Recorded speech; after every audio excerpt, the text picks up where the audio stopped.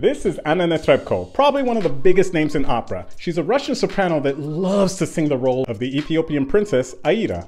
Now, she often sings the role in Verona in modern blackface, and I'm not being extra. This is what she looks like when she's not Aida.